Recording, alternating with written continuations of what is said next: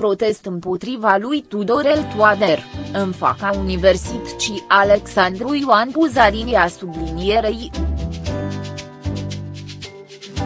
Peste 150 de persoane au protestat sumte în faca Universității Alexandru Ioan Puzarinia sublinierei, cerând demisia ministrului Justiciei Tudorel Toader, suspendat din funcția de rector al Universității în perioada mandatului de la minister.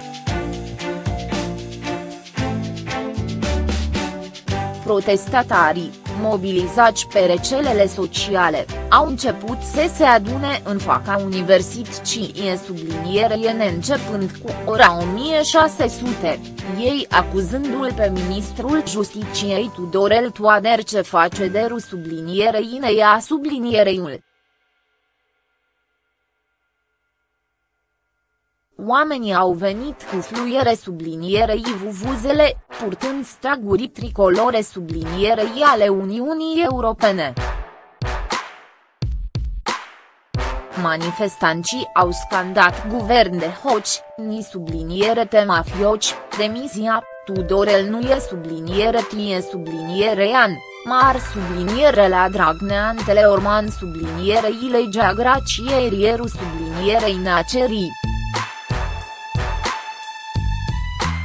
Pe pancartele purtate de protestatari se putea citi Tudorel, ai făcut pact cu diavolul, nu vei fi iertat, ia subliniereiul nu te vrea sublinierei cerem o justiție independent.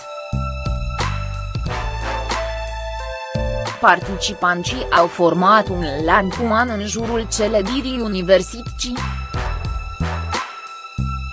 Tudorel Toader este un ministru care apre interesele corupților, susținut de o alianță al cerei unic scop este celebirea independenței justiciei. Vedem ce el nu are nicio problemă ce în fruntea cerii se află un condamnat la 2 ani de închisoare cu suspendare sublinierei o alt persoană trimis în judecat pentru merturie mincinoasă. Este un demnitar dispus să accepte orice comand pentru a sublinierei păstra funcția. Nu are ce se caute nici la justiție, dar nici la conducerea universității e sublinierei este o sfidare la adresa mediului academic din ora subliniere, a declarat unul dintre protestatari. La protest a fost prezent sublinierei deputatul Uzria sublinierei, Cosette Chichiru. I-a spus că Tudorel Toader face de ru sublinierei în Universitatea din ea sublinierei, adugând ce este inacceptabil să mai rămân ministru al Justiciei. Manifestația a durat o ori sublinierei s-a încheiat fără incidente.